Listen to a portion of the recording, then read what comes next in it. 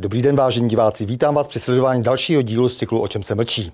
15. srpna 2021 se zhroutila Afgánská islámská republika a Afghánistán zcela ovládlo radikální islamistické hnutí Taliban.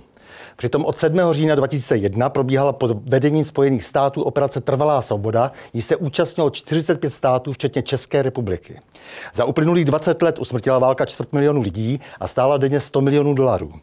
Vykradené státní rozpočty západní civilizace nakrmily nejvyšší patra mezinárodního organizovaného zločinu. A trh s afgánským opiem zaznamenal nebývalý rozkvět.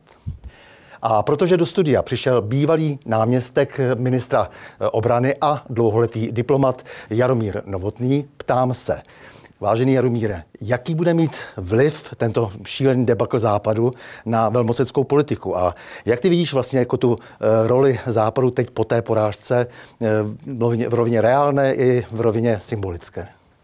No tak já se domnívám, že Spojené státy budou a s ním celý Západ ve velkých problémech, protože eh, přiznali, že nedokážou porazit eh, kmenové bojovníky, kteří jsou vyzbrojeni jenom, já nevím, samo Kalašníkovi a nějakými auty s namontovanými kulomety.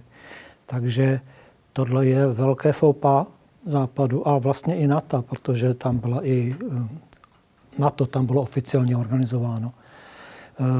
Prostě pro Spojené státy je to o to horší, že jsou sami v krizi, že jo? Tam, je, tam je v podstatě kulturní revoluce, jako by kopírovali má, že se všechno otáčí proti bílým. Takže eh, je to výrazný úspěch islamistů a islamisté už i gratulovali hnutí Taliban. První byl, myslím, Hamas z, z okupovaného z Gazy, No a určitě se přidají i islámský stát v Sahelu, a nebo eh, milice v Somálsku, Boko Haram ve střední Africe. Prostě pro všechny je to velké povzbuzení, že je možno porazit toho západního satana, ty USA. Řekněme, musí Česká republika bojovat za cizí zájmy, eh, za zájmy globalistů. Eh, bylo by možné, abychom si nekazili už tak pokažené některé přátelské politické a ekonomické vztahy?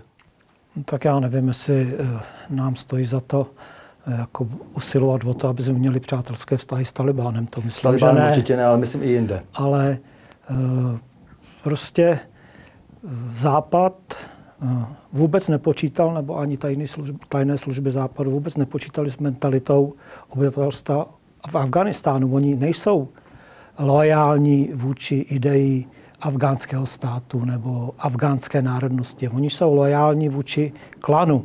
Takže oni jsou především Uzbekové, Tádžikové, Turkmeni, Balučové nebo Hazáři, anebo Paštunové.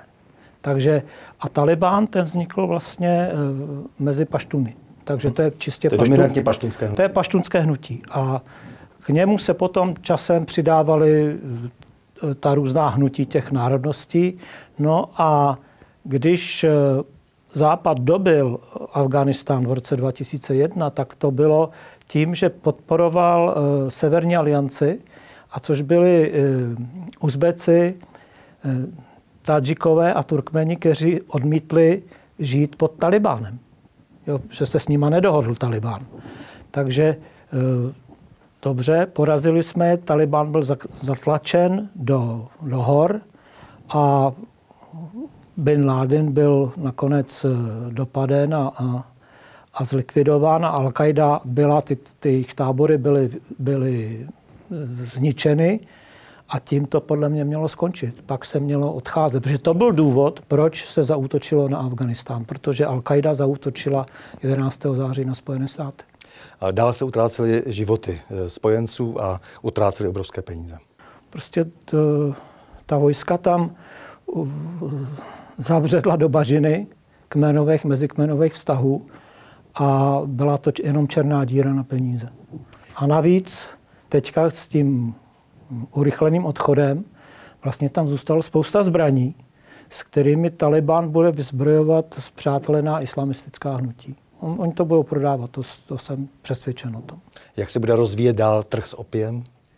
Trh s opiem uh, má teďka uh, neomezené možnosti, ale domnívám se, že bude uh, mírně potlačován, protože se velice rozmohly chemické drogy a ty jsou levnější než to opium. Takže to bude, to bude teďka konkurence pro Taliban v tomhle tom, že opium určitě zlevní. Milí Jaromíre, moc děkuji za rozhovor a s vámi, milí diváci, se těším na další pokračování cyklu O čem se mlčí.